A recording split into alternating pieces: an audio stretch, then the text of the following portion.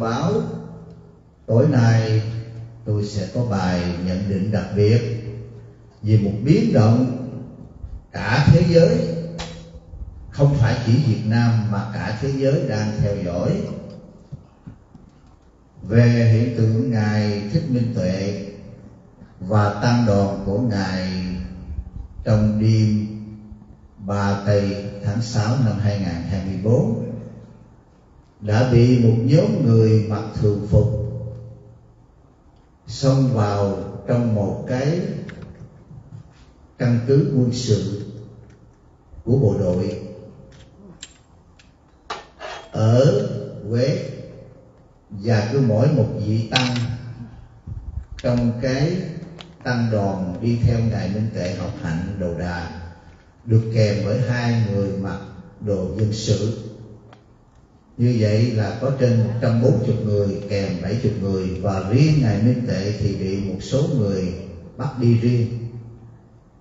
Và sau khi thầy Minh Nhuận ông đã ra cái video cầu cứu thầy Minh Nhuận là một trong những đệ tử trong tăng đoàn của ngài Minh Tuệ ông nói rằng ông bị bắt từ Huế mà nếu mà công an bắt á, thì khi ra ngoài mới thấy là mặt có một số công an. Còn khi mà bắt vào trong cái cơ sở ngủ đêm đó đó thì chỉ thấy toàn là mặt dân sự. Nhưng mà không có đưa vào các cái công ty các ty công an của thừa thiên huế để mà thẩm vấn bắt ký lời tự khai lăn dấu tay. Mà lại chở khoảng 200 cây số chở từ thành phố Huế chở ngược tới huyện Kỳ Anh mượn một cái phường, một cái văn phòng công an của một cấp phường để bắt là làm tờ khai có phạm tội gì không. Và chính cái ông thầy minh nhuận này, ông nói ông không có tội gì hết và ông không nhận. Mà rút cuộc rồi đó, cái nhóm công an đó không dám bắt ổng và đem bỏ ổng ở giữa đường. Cái điểm này là cái video đầu tiên kêu cứu, quý vị thấy chưa? Rồi kế đó là những cái video tiếp theo là quay cái hình ảnh ngài minh tệ bị công an lăn dấu tài mà lăn dấu tay á, thì lăn ở chỗ nào làm căn cước nhân dân. Cái điểm thứ ba là cái hình ảnh một chiếc xe, có xe xe là xe tải lớn để bắt người đông á, chở mấy chục thầy trên cái xe đó có chữ police. Thì tôi hỏi quý vị, cái vụ bắt cóc này mà ai mà vô được để mà quay trong cái hình ảnh mà công an đang lăn dấu tay chỉ có công an. Cho thấy rằng trong cái lực lượng công an này có phe là của chính phủ và có phe là không phải của chính phủ. Phe chính phủ tôi được gọi là phe của tổng bí thư nguyễn phú trọng. Và phe không phải chính phủ, tôi tạm gọi là những tên công an dưới trướng của tô lâm mà ủng hộ cho cái nhóm ma tăng. Thích chân quang thích nhật từ, thích nhận đức, vân vân. Trong cái mùa phật đản vừa qua, ai thất thu quý vị?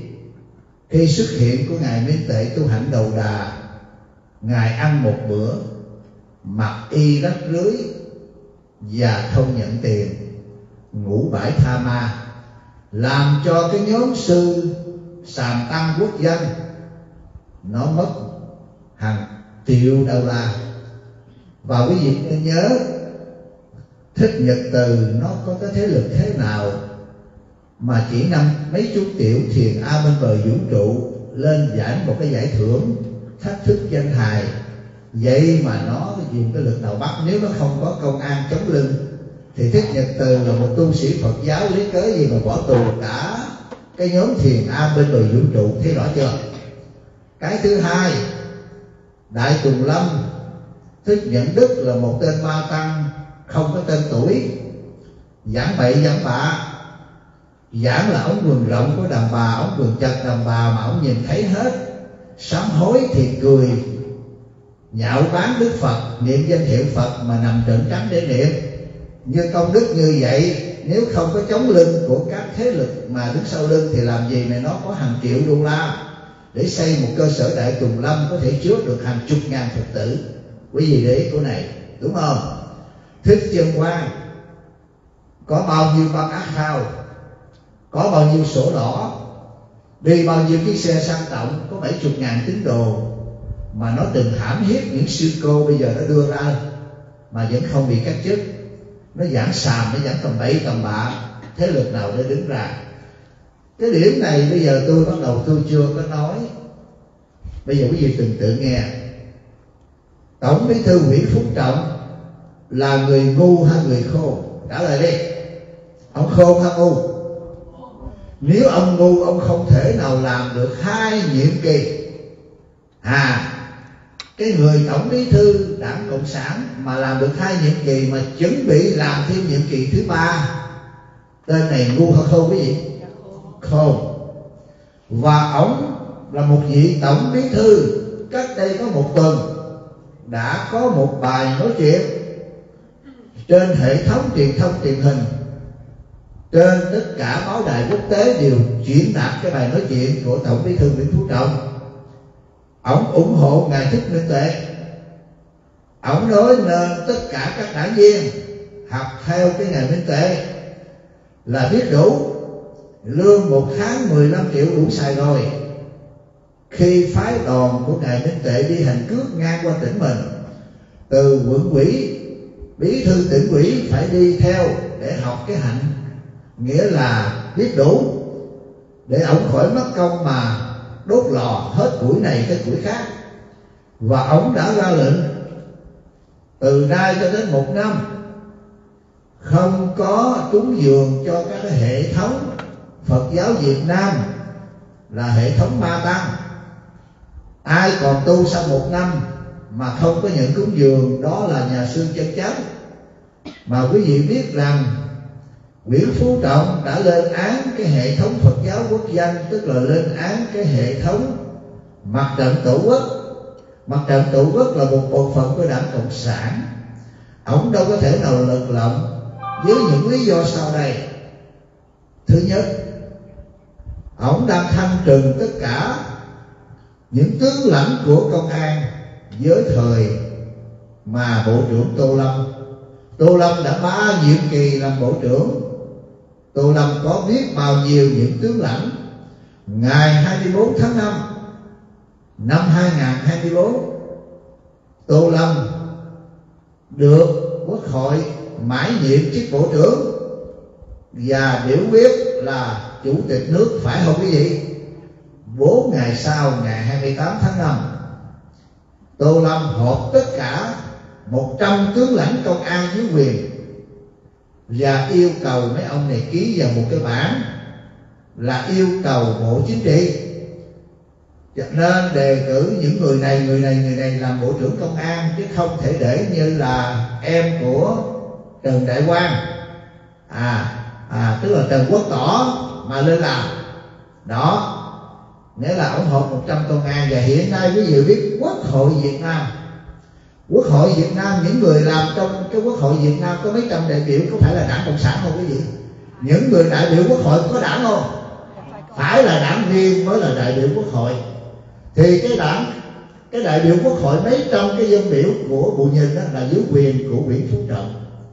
Mà hiện tại quốc hội Việt Nam đang ra xét xử bốn tên trung tướng, thượng tướng công an với quyền của tô lâm về tội tham nhũng và sắp sửa đưa vào đốt lò. Và như vậy tôi đã nói hồi sáng này khi tôi ở nghĩa trang của cựu chiến binh hoa kỳ ở ở ờ, Mississippi Biloxi. Tôi nói rằng, quý vị phải nhìn cho kỹ và chúng ta chứ có dội vã vì bây giờ đó, cái phe nào được lợi phe nào sẽ bị mất uy tín trong vụ mà bắt giữ ngài thích minh tệ phe nào sẽ bị tẩy chay và phe nào sẽ bị đả đảo? Tôi sẽ nói lần lượt như thế này. Ai là người được, ai là người được lợi nhất trong vấn đề mà bắt ngài minh tệ có phải là cái nhóm ma tăng hay không? Có phải là nhóm công an mà lâu nay bảo trợ cho nhóm ma tăng thích nhật từ, thích chân quan thích nhận đức, phải không quý vị? Còn ai là cái người mang tiếng trên cái liên hiệp quốc và thế giới, có phải là nguyễn phú trọng hay không? Hả? Ai là cái người được lợi trong cái vụ bắt cóc ngài minh tuệ và tăng đoàn của ngài? Chắc chắn là không thể nào là nguyễn phú trọng được. Liên hiệp quốc trong tuần lễ hai tuần lễ vừa qua việc xét việt nam có được rút ra khỏi cái danh sách là những nước đàn áp hay không. Mà tới giờ đó, cái vụ đó chưa xong. Còn phải chờ biểu quyết lần cuối rồi mới đánh cái danh sách. Thì ông Nguyễn Phú Trọng không thể nào mà ngu dại. Tại vì Liên Hợp Quốc nó còn chờ, tức là cái văn bản có rồi nhưng mà còn theo dõi, hiểu chưa? Chưa ký cái quyết định ông không có ngu gì mà ông để, ông là tổng bí thư. Ra một cái clip bảo vệ ngài minh tệ, mà giờ này ông lại dắt ngài minh tệ để chi? Để hội bảo vệ nhân quyền của liên hiệp quốc sẽ lên án ông. Để hội bảo vệ đàn áp tôn giáo của liên hợp quốc sẽ lên án ông. Và khi lên án như vậy, chính quyền phú trọng sẽ mất đi hàng chục tỷ đô la viện trợ, sẽ mất đi những cái quyền mà đặc miễn về thế vụ đối với Âu Châu đối với Hoa Kỳ. Cho nên, cái Nguyễn Phú Trọng là người dẫn nhất trong sự việc ngài Minh tế bị bắt thí dụ, tôi đề bạt ngài tể Không, thầy tể Không lên làm chủ trì. Trong khi tôi chuẩn bị, tôi về hưu. Ngài Minh bởi vì theo Nguyễn Nguyễn Phú Trọng giống không ông cũng sắp về hưu rồi. Ông ca tụng. Ông ca tụng. Ngài Minh Tuệ ông lên án ma tăng. Cũng như tôi bây giờ tôi đề cử này để Không lên. Không thế nào mà tôi để mà tôi đi bắt những người mà tôi đất Tệ Không được hết. Đúng không? Ai được lợi trong vấn đề này coi. Bây giờ ông Nguyễn Phú Trọng là tổng bí thư của đảng cộng sản. Ông ra lệnh cho mấy trăm đại biểu quốc hội là những đảng viên lượng tội bốn tên tướng dưới quyền đô lâm rồi quý vị thấy giờ này đó, dân chúng việt nam từ bắc chí nam, những người cộng sản và những người việt nam cộng hòa, ai 90 phần trăm đều yêu mến ngày minh tệ phải không? Đúng không quý vị? Cho nên bây giờ cái tụi này nó bắt, nếu mà nó bắt chánh danh ngôn thuận đó, quý vị nhớ, nếu nguyễn phải động bắt thì ông không có dạy gì trong thời gian mà liên hiệp quốc đang dự xét này mà ông này ca tụng. Mà trong thời gian này ông muốn đốt lò, ông tiêu diệt tay chân của nhóm tô lâm cho nên ông mới đưa trần quốc tỏ là em ruột của trần đại quang làm nguyên bộ trưởng công an. Mà trần đại quang là chết vì tô lâm cho nên ông dùng tay của trần quốc tỏ để mà tiêu diệt tô lâm cho nên tôi nói rõ, đừng có dạy mà trút cái giận này lên viện Phú Trọng, mà phải nhìn cái nhóm nào được lợi trong cái vấn đề ngài Minh Tệ bị bắt. Mùa Phật đảm vừa qua, thất thu quá nhiều. Quý vị nên nhớ, nếu không có được chống lưng, thích nhật từ không thể nào mà giảng được những bài giảng mà về tình dục mà vẫn ngồi ở trong cái cái cái giáo hội Phật giáo. Quỹ ban điều hành của Phật giáo Việt Nam thứ hai, Việt Nam Quốc gia. Và thích nhật từ cũng không thể nào bắt nhốt được thầy ông nội trong thiền a bên bờ vũ trụ. À một ông tăng sao bắt được? Cho nên đằng sau cái lưng của thích nhật từ là những thế lực công an. Cho nên thích nhật từ, thích chân quan thích những đức là những cái tổ chức rửa tiền của tôn lập. Mà nhà sư thì không đóng thế, chùa chiền thì không đóng thế, cho nên là phú trọng không thể rờ gái tới được. Hiểu chưa? Bất bất bất vụ lợi làm sao đóng thế? Chỉ có là lập ra cái công ty nào cũng bị Nguyễn Phú Trọng rờ cho nên cái nhóm công an của Tô Lâm đó nó nuôi những tổ chức này. Ta nuôi cho tụi bay như vậy ta lập ra những cái chùa lớn cho tụi bay. Ở Bà Rịa bay thu được một tỷ thì tao sẽ nộp cho tụi tao năm năm trăm triệu. Rồi cái chỗ mà cái vụ mà ở chỗ ông Nhận Đức á, ở Đại Tùng Lâm á công an nó đầu tư vào đó tụi bay thu một năm 10 triệu đô la thì tao lấy 5 triệu, tao lấy 5 triệu. Đó là những tổ chức kinh tài của những cái thế lực công an mà nó làm ăn. Bây giờ nó mất quyền lợi. Mà càng ngày mà ngày minh tệ càng tiến về Sài Gòn thì tụi nó càng chết. Cho nên nó lợi dụng để mà nó bắt. Nếu mà ông Nguyễn Phú Trọng ông bắt á, thì ông ra lệnh rất dễ dàng. Ông không có ngu. Ổng sẽ đi theo cái chính sách này. Và ổng đã vừa nói là bảo vệ ngài, thì bây giờ tăng đoàn đi quá nguy hiểm. Có một người chết rồi. Thôi bây giờ đó, ngài đó là phát nguyện với phật. Tại vì ngài đó có những cái video mà cách đây mà tụi youtuber nó hỏi ngài đó, là ngài sẽ đi tới chừng nào với tôi á, là đi tới ngày tôi chết, chứ không bao giờ ngưng.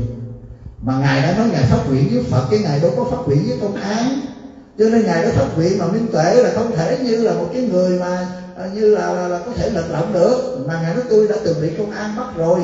Nhưng mà tôi chỉ có cái mạng cùi không có tín đồ không có chùa chiền thì muốn giết giết. Cho nên không thể nào mà nói ngài ngài minh tuệ ngài đã phát nguyện với phật là ngài đi cho tới ngày giết hơi thở có không? Không thể nào ngài thay đổi được. Cái người này là coi cái mạng rẻ quá rồi. Người này buông bỏ tất cả là vô ngã rồi thì không thể nào mà bị ai đàn áp. Cho nên cái chỗ này từng chỗ tụi con sẽ coi cái nhận định của chị trần thế tùng lai đúng hay sai. Nha! Cho nên bây giờ mới thấy cái sự nổi loạn là dân chúng giờ hàng triệu người. Những hàng triệu người đã từng là có là cái cái cái cái gốc là đảng viên cộng sản bây giờ là đứng sau cái vị phật sống minh tuệ. Phải không? Cho nên nó trút hết cái hận nó lên là nguyễn phú trọng bắt. Nguyễn phú trọng bắt không bắt như vậy.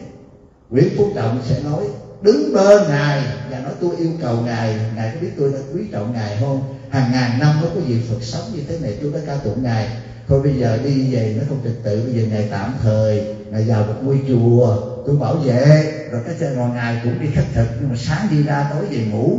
Sau khi tôi ổn định trật tự là có tiếng đường có chỗ nghỉ ngơi, cái này kia rồi rồi tôi cho ngài đi, thì ông Đức phúc trọng cũng làm vậy. Không thể nào mà nữa đi bắt. Mà nếu mà tôi bắt thì đưa cái cơ sở gần nhất là công an tỉnh thừa thiên, mà tại sao không bắt? Mà đưa công an bắt là phải lĩnh từ tỉnh thừa thiên. Tại sao bắt? Mà lại là đi chạy về cái phường mà cách đó 200 cây số. Mượn một cái đồn công an của cấp phường tại sao cấp tỉnh bắt là cấp phường, tức là cái tuổi này, là cái tuổi của tô lâm, cái tuổi bắt chui, ném đá giấu tay. Cho nên không dám mang đồ công an mà chạy ra cái phường. Bắt là không dám bắt. Hù với cái ông thầy minh nhuận ông chịu không tôi bắt, không tôi bắt thì bắt đi. Rốt cuộc đâu có dám bắt em thả chứ nếu mà công an mà đủ rồi bắt là vô đồn xong là ra là sắp chết đó là quý thầy tự tử. Công an nó đâu có sợ cái gì đúng không? Công an không có sợ. Cho nên ai là người giận nhất trong sự việc ngài minh tệ bị bắt? Ai là người bị mang tiếng nhất trong vụ ngài minh tệ bị bắt? Chính là nguyễn phú trọng à, ai là người hả hê nhất? Chính là cái nhóm công an đứng sau lưng nghĩa là ma tăng phải không quý vị? Mà ai vừa mất chức bộ trưởng công an? Là tô lâm. Tô lâm trong ba nhiệm kỳ công an đã tạo ra không biết bao nhiêu gì cấm công an trong ba nhiệm kỳ công an đã hưởng lợi không biết bao nhiêu tiền từ tay của trường hoàng từ tay nhật từ từ tay thích nhận đức. Đó là cái nhìn trí huệ của địa cực tương lai nãy giờ tụi con cái đồng ý là sư phụ nói hoàn toàn không thiên vị phải không quý vị? Chứ tôi đâu có ưa gì cái nguyễn phú trọng, lúc này là tôi đáng lẽ là tôi phải giật dây này nhau lên. Đã đảo cướp chính quyền nhưng không phải. Nói như vậy là không có nói trung đạo. Mình phải nhận xét ai đã, cho nên là tôi không có dội vàng phải không? Lúc này là tôi không có lợi nhất đục thả câu, mà tôi chỉ nhận định một trăm triệu đồng bào mấy ngàn năm mới có một vị phật sống. Mấy ngàn năm mới có một vị thánh tăng. Bây giờ quý vị phải làm mọi cách. Là cái phe nào bắt ngài minh tuệ phải đưa ngài ra. Phải không? Đưa ngài ra mà tôi nói rõ ràng. Bây giờ nó sẽ dùng cái kỹ thuật GA để nó giả tiếng minh tuệ được không quý vị? Hiện tại trên mạng bây giờ tràn lan đại hải họ lấy những cái cảnh cũ cái đây mấy năm, phỏng vấn là ngài minh tệ đã được đi rồi. Không có chuyện đó. Ngài minh tệ mà được thả ra mà đi độc hành độc bộ cái đó hoàn toàn là giả. Bây giờ hàng triệu người mà ngài minh tệ bây giờ có những clip bỏ ra, có không? Đều giả hết. Cái nhóm này là cái nhóm tu quả mù của thích trương quang, của thích nhượng đức và của tô lâm. Tôi chỉ tin khi nào là nguyễn phú trọng đứng với ngài minh tuệ và vị phú trọng đảnh lễ ngài, con không có chống cái đường lối của ngài. Con đã từng có một cái clip ca tụng ngài. Con từng có clip là bắt các bí thư phải đi theo ngài và nương theo cái hạnh đầu đà, liêm chính, không phung phí. Con có clip nói là đảng viên lãnh 15 triệu đủ sống rồi, hãy học theo cái hạnh ngày minh tệ nhưng mà bây giờ con không có cản cái hạnh ngài. Vì ngài phát nguyện đi trọn đời với đức phật chứ đâu phải trọng đời với con mà con nghe lời con phải không? Mà ngài là cái người con không thể nào mà con áp bức ngài được thì ngài đã tuyên bố đã từng bị công an áp bức. Nhà ngài nói có giết thì giết đi con chỉ năn nỉ ngài một tháng vào trong một ngôi chùa nào đó. Để rồi con sẽ sắp xếp để cho ngài tiến về sài gòn. Để cho từ bắc chí nam được chiêm ngưỡng vị phật sống của việt nam qua mấy ngàn năm. Phải không quý vị? Tôi chỉ tin, khi nào mà ngài thích minh tệ đứng với ngài tổng bí thư nguyễn phú trọng, tuyên bố là ngài nói tôi xin tạm ngưng cái chương trình tu độ đạo, thì quý vị mới tin. Còn ngày nào mà bất cứ đứng với ông nào nói cũng đều là dọn hết, phải không quý vị? Tôi nói rõ, ngày nào ngài minh tuệ đứng với tổng bí thư nguyễn phú trọng và nguyễn phú đô vẫn đồng sẽ kính cẩn năn nỉ ngài, xin dừng lại một hai tuần để sắp xếp lộ trình để mà tăng đoàn tiến về sài gòn. Và ngài minh tệ xác nhận tôi tạm thời ngưng vì tôi hứa với phật chứ không phải hứa với đảng cộng sản, để cho ổn định bảo vệ sức khỏe của tăng đoàn. Phải không? Thì đó mới là thật. Hoặc là lúc đó ngài minh tệ nói tôi hủy bỏ cái cái hành đầu đà thì mới là thật. Phải có vị phú trọng còn có với tên nào cũng đều là giả hết, đều là áp bức hết. Phải không quý vị? Nghe rõ chưa? Rồi, cả thế giới đang theo dõi nước việt nam. Có đàn áp tôn giáo không? Là bây giờ đã vẫn bị là đàn áp. Và bây giờ họ chưa đánh văn bản tức là bị rồi giống như tôi họp xong mà chưa có làm cái gì. Closing statement. Không có giải gì, mà ông Nguyễn Phú Trọng lại là để cho mình để là bị vào cái tội nặng hơn. Cho nên ông ca tụng ngài như tuệ. Ông cảnh cáo giáo hội quốc dân để cho thấy rằng ông không có ủng hộ các xà tăng ma tăng. Thì không có thể nào bây giờ ông lại để mà cái thất thu để cho cả thế giới lên án. Quỹ hội quốc tế nhân quyền đang theo dõi. Quỹ hội bảo vệ quyền tự do tôn giáo liên hợp quốc đang theo dõi. Tất cả các nước đang theo dõi. Các đài truyền thông đang theo dõi đài BBC tất cả truyền thông Hoa Kỳ và các đài Đông Nam Á đều theo dõi, thì người nào sẽ bị lên án? Tất cả, nếu mà không có nhận định của thầy thông lai, người ta sẽ chụp bao nhiêu cái sức giận, kể cả hàng triệu, hàng trăm triệu người đồng bào việt nam sẽ nổi lên. Và lật đổ nguyễn phú trọng, ai lên nắm? Lật đổ nguyễn phú trọng nhưng mà chính là phe tô lâm lên nắm, càng tàn bạo hơn nữa. Phải không quý vị? Phe Tổ lâm sẽ lên nắm nó mượn sức với đồng bào để mà nó lập quỹ phúc trọng à ai bị mang tiếng trong việc ngài minh tề bị bắt, tổng bí thư nguyễn phú trọng ai có lợi nhất trong vụ ngài minh tề bị bắt? Thích nhật từ, thích chân quan thích nhận đức và rất nhiều sàm tăng, ba tăng. Và những cái người công an đứng sau lưng chống lưng cho những ma tăng này bị thất thu trong mùa lễ Phật đản vừa qua. Thế lực nào giúp nhật từ bắt được thiền an bên bờ vũ trụ? Chính là công an, chính là công an, đang hưởng lợi từ mấy chục năm nay. Và bây giờ mất miếng ăn. Cho nên nó thật sự bắt không dám bắt. Mà bắt lén. Bắt mà không dám mặc đồ công an. Bắt mà không thể nhốt được. Cái gì thấy không? Lương nguyễn phú trọng bắt làm sao? Bây giờ đưa vào trại làm mất trật tự và giờ rồi có xảy ra một chiều diệt kiều bị chết vì đi theo tăng đoàn. Nó sợ gì đâu nếu trọng nó muốn bắt là nó bắt. Và vô đồ công an như hồi xưa nguyễn của trọng á, là nó đánh chết rồi nó nói là sao? Tự tử. Làm gì đó. Lần này không phải nguyễn phú trọng bắt mà một lực lượng đã mất thực quyền. Nhưng mà dưới đàm chí tay vẫn còn những đàn em. Đó là lực lượng của tổ lầm cho nên không dám mượn cái ti công an thừa thiên. Mà nếu mà bắt thì đưa về cái cơ quan ở tỉnh thừa thiên, tối ngủ trong tỉnh thừa thiên, mà bắt mà chạy về hai trăm cây số chạy ngược ra ngoài bắc ở đầu kỳ anh. Cho nên bây giờ tôi yêu cầu đồng bào muốn điều tra coi ai bắt. Tất cả những cái người mà có quyền cứ nhắm vào cái đồn công an đó là biết. Tối đó thằng nào? Thằng nào mà cho tụi nó mượn cái phòng điều tra? Cứ vô cái phường đó là lộ ra phải không? Tôi chỉ cho youtuber tôi chỉ cho những người đường nào vô ngay cái phường đó là lội, ra. Không? Rồi bắt ban ngày sao bắt bắt ban đêm. Thầy bây giờ đó hả? Thầy bắt một tên nào là thầy đang ở đâu á? Thầy ở thầy đang ở tại con rô mà thầy phải dẫn cái thằng đó chạy về bên Indo là thầy dỗn rồi phải không? Là cái người bắt đâu nó được với sư phụ ở đâu? Bắt đưa gần nhất cái chỗ đầu não mình là con rô chứ. Đúng không quý vị? À một tổng bí thư hai nhiệm kỳ. Có ngu không quý vị? Ngu không? Cho nên nếu nói là đảng cộng sản gian ác không gian ác. Mà quỷ phú trọng phải là để nhất gian ác mới ngồi được trên đầu tụi nó hai nhiệm kỳ. Thì cái tên này không bao giờ nó ngu. Mà không chừa cái việc nó ngu. À, tôi đã nói rồi. Cái thằng gian ác thì tôi thằng đại gian ác là tổng bí thư. Mà nó đứng đầu trên hai triệu thằng gian ác. Thằng này nó ghê lắm. Nhưng mà bữa nay thầy rất công bằng không?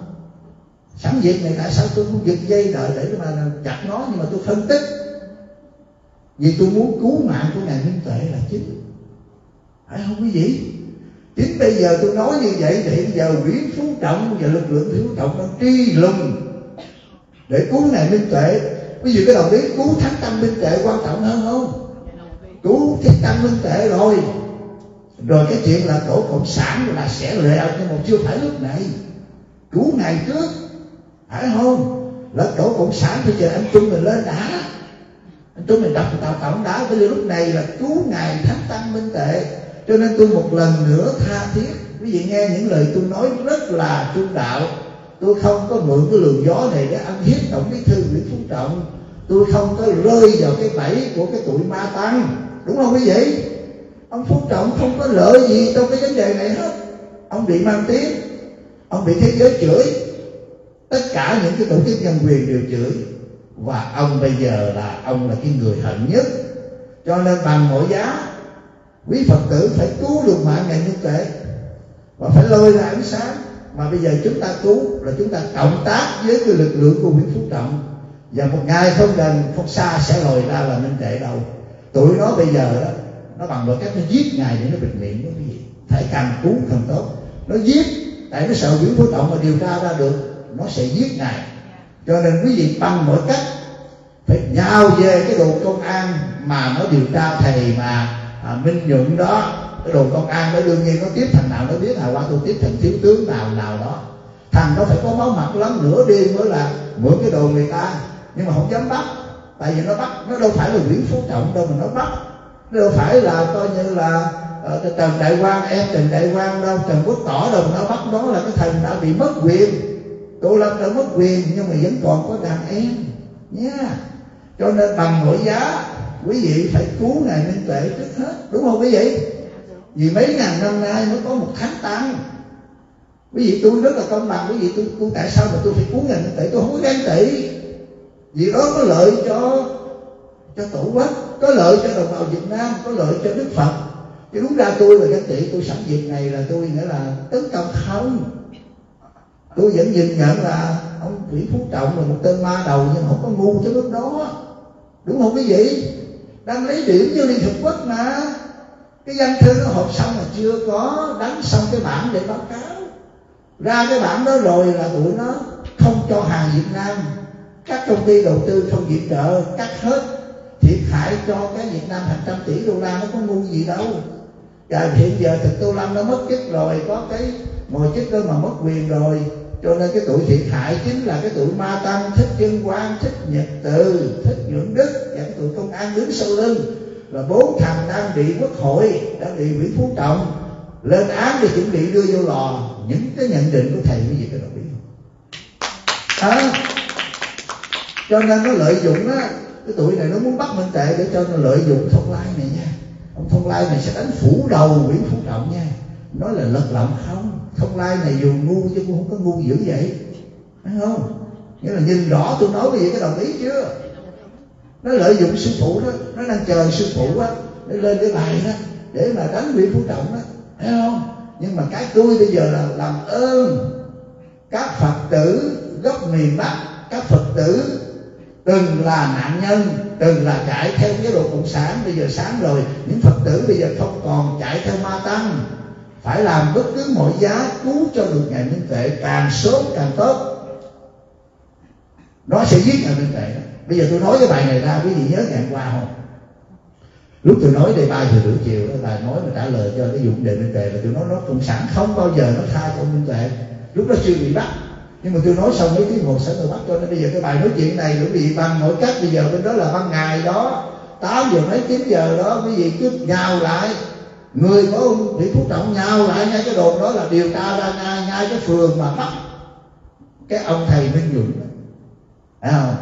Bắt mà bắt mà thả lang ta không dám nhốt tức là bắt không có quyền nhốt đúng không? Nó bắt mấy ông được đi điều tra kể cái ông thầy hộ pháp cũng đi vòng vòng. Rồi bây giờ làm sao? Người ta đói người ta đi không có tiền ta không có điện thoại ta ghé vô một quán phở kỳ ăn.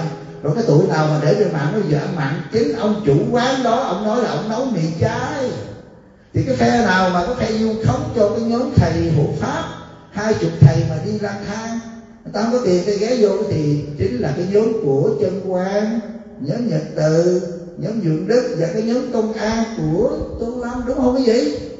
Ông chủ đã lên tiếng. Đứng chắn chưa? Ai ai vu khống? Cái gì thấy rõ? À ai vu khống? Cho nên á, phe đối ăn ma tăng và bốn tướng công an được quốc hội cộng sản đang luận tội. Cái phe này đã cho những đàn em mà chưa bị vô lò. Cho nên tuổi bây giờ nó sợ. Trước sau gì? Nghĩa là trần quốc tỏ em cái trần đại quan cũng bắt hết. Cho nên nó lợi dụng, nó bắt đại. Bởi vậy nó không dám mặc đồ công an.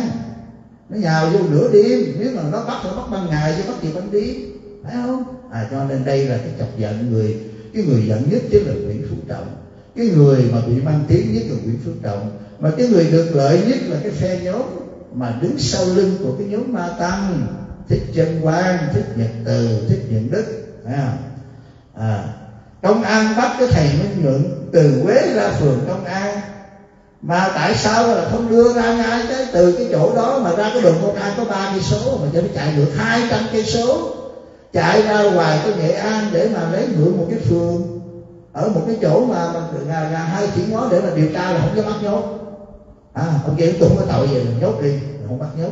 Mượn chỗ để mà hù dọa thôi để mà ném đá vỗ tay thôi phải không?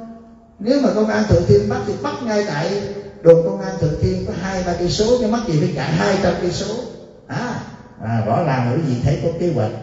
À mà nhớ kỹ một video của ngài minh tuệ cách đây mấy tuần. Người ta hỏi ngài sẽ thi hành hạnh độ đà tới lúc nào, ngài sẽ ngưng. Nếu mà bị chứng quyền này nói, ngài có cái mạng thôi, mà ngài muốn giết thì giết. Ngài phát nguyện với phật chứ ngài không phát nguyện với ai. Ngài không có phát nguyện với công an. Công an không thể được gần ngài được. Ngài đã có cái lý chưa? Đi cho tới hơi thở cuối cùng. Tôi xả bỏ thân, tôi vẫn đi. Chứ không có cái ngày nào hành định hết đi ra rồi đi vô đi ra đi vô. Tôi đi không có không có điểm hết và không có điểm bắt đầu. Tôi làm sao mà nói được ngài ngài phát triển với phật chứ ngài có phát triển với công an đâu mà ngài nói bây giờ ngài nói. Mà ngài nói tại sao mà không đưa ngài ra đi? À, à trịnh sinh thanh hồi đó qua đức rồi bị tô lâm qua bắt về nó có cái clip nó nói là trịnh sinh thanh đầu thú không? Nhưng mà trịnh sinh thanh là một đảng viên cộng sản tham nhũng.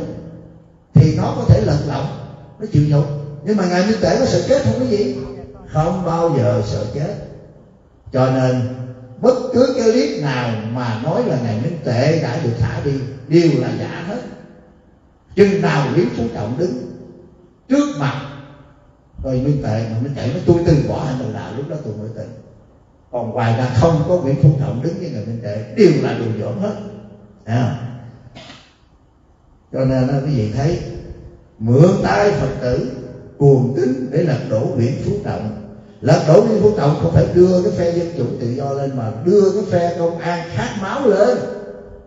Nhớ kỹ, công an mà nó nắm hết thì nó càng khát máu hơn nữa. Đó. À, cho phe tu lâm lên nắm chính quyền. Rõ ràng là tao ác bắt mà không dám mặc một công an vậy, có phải là công an của nguyễn phú trọng? Nếu công an của nguyễn phú trọng thì mặc đồ công an chứ gì công an của tô lâm. Mà tô lâm bị lột lon đại tướng lột chức bộ trưởng thì không dám mặc đồ công an, hiểu chưa quý vị?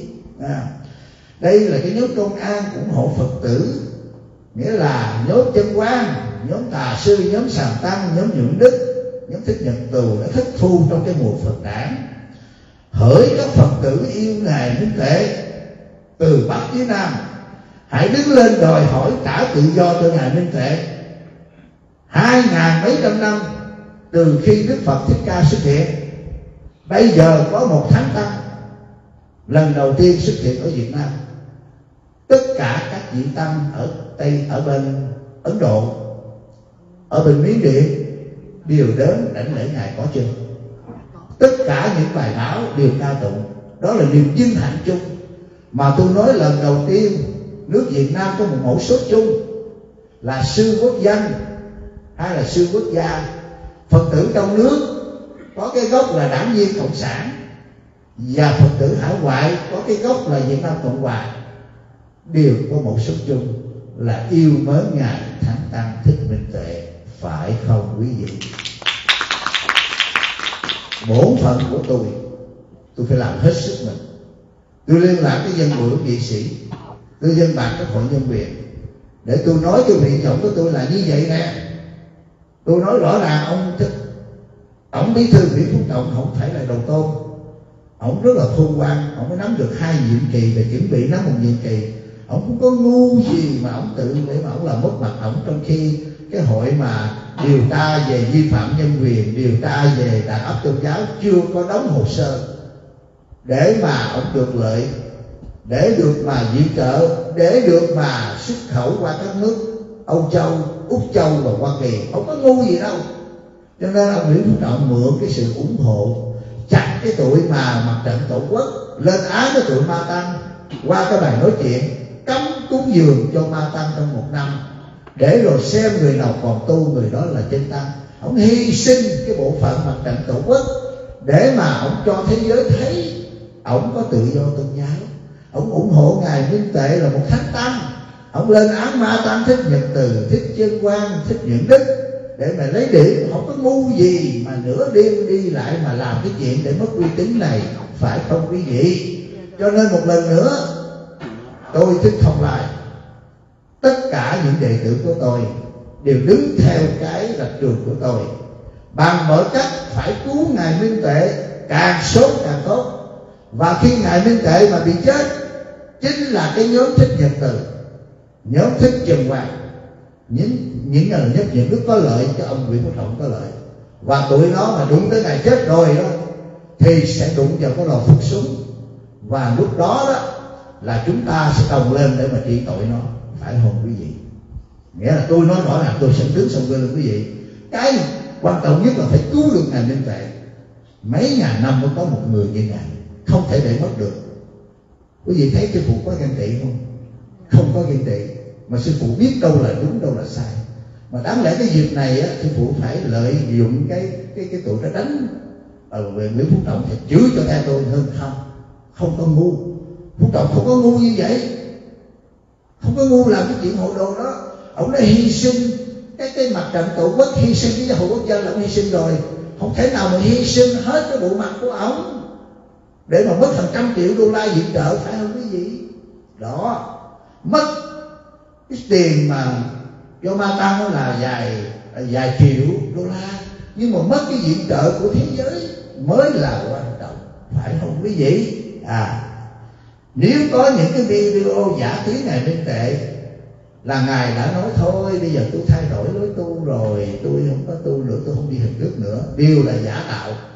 Cho tới khi nào mà chính ngài minh tệ đứng, có ngài tổng bí thư nguyễn phú trọng mà nói câu đó, tôi mới tin còn không có ngài tổng bí thư nguyễn phú trọng và ngài minh tệ đứng nói chuyện đó, tôi không tin. Quý vị cũng không tin. Phải không? Ngài minh tệ có thể là dùng súng để mà hăng ngài được không? Không bao giờ. Cái người mà đã không còn cái gì để mất nữa, cái người đã buông bỏ tất cả, tới cái chỗ là vô ngã rồi. Ngài nói ngài có cái mạng, đã từng bị công an đã bắt rồi hồi xưa đó, muốn giết giết đi. Hả? Quý vị đấy? Ngài minh đệ ngài có có sợ không có căn, căn cước nhân dân để mà để bị vô đăng tái không? Quý vị nghe nói làm căn cước là lừa gạt được nước ngu. Bây giờ ngài nói tôi không làm căn cước đó. Bắt đi. Mà bây giờ chính là ai cũng xác nhận ngài là bộ đội ngài là thượng sĩ. Ngài là cái dân ở đó. Cần gì mà căn cước nữa? Cả thế giới đều xác nhận. Những người có chứng minh nhân dân những người căn cước thế giới không xác nhận. Bây giờ ngài minh tệ đi tới đâu người ta cũng không cần bắt co cho ngài đi không? Đó ông còn hơn cái tổng thống nữa mà. Cho nên không có cần đòi cái chứng minh nhân dân đó, nha. Cho nên đối với tôi ngài minh tệ phát nguyện đi hạnh đầu đà cho đến ngày xả hổ thân dưới phật. Chứ không phải dưới công an hay dưới nguyễn phúc trọng, cho nên ngài giữ lẫn được trường, ngài cũng sẽ chết. Tại sao công an bắt nhóm thầy minh tệ mà không dùng trụ sở công an tỉnh thừa thiên huế làm thủ tục điều tra? Mà phải đi một cái chở một vòng ra tới hai trăm dặm đi ngược về phía bắc. Rồi dùng ông này nhớ dùng cái nhớ đi quả thật ông trọng ông bắt ông nhốt hết này ông nhốt hết bằng một mỹ từ. Quý thầy đi tội quá. Không an toàn. Bây giờ tôi tạm thời ngưng một tháng để tôi lập một cái chỗ rồi tôi lập những tiếng bây giờ quý thầy đi cầu đi tiểu không có tôi lập những cái những cái nhà cầu chỉ dành riêng cho tăng đoàn này đi thôi. Được không? Đâu có nổi loạn lên ngài bắt rồi nếu bị vua trọng bắt là bắt thẳng tay vô đồ là ra là chết đó là bị vua trọng bắt đó. Còn bắt mà vô vô phù dọ rồi đó không dám nhốt không có chỗ nhốt tức là mượn chỗ thôi. Đúng không quý vị? À bây giờ giả sử có một cái nhốt thầy nào mà phản bội thầy tương lai phải không?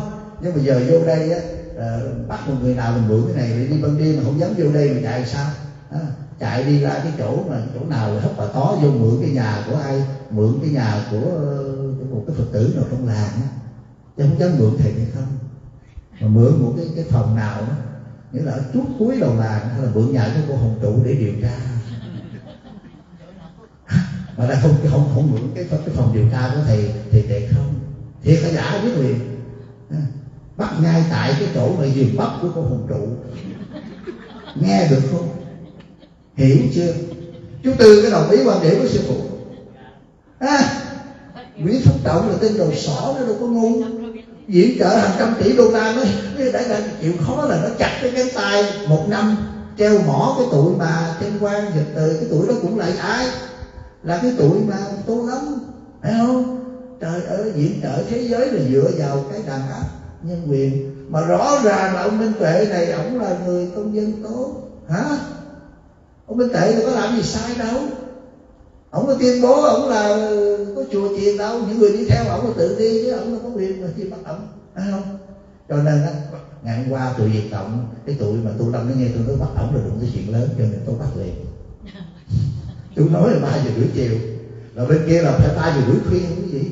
Hả? Cho nên tưởng nó nghe đã quá bây giờ mình bắt cho mình đổi thừa thì chùa anh thì pháp chịu không có đâu. Nên là một phước động không có ngu chỗ đó đâu và bây giờ cái nhiệm vụ của chúng ta, những người yêu thầy minh tệ trong đó có tôi.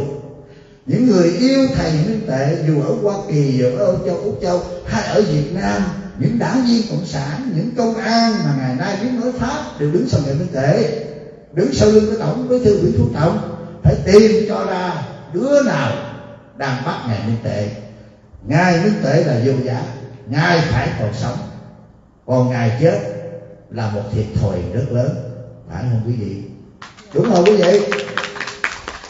Không có dạy gì để nó mượn tay tôi để mà nó chơi ông ông tâm lý tôi ổng có cái tôi biết ổng là tên đầu sỏ, tên đại gian ác.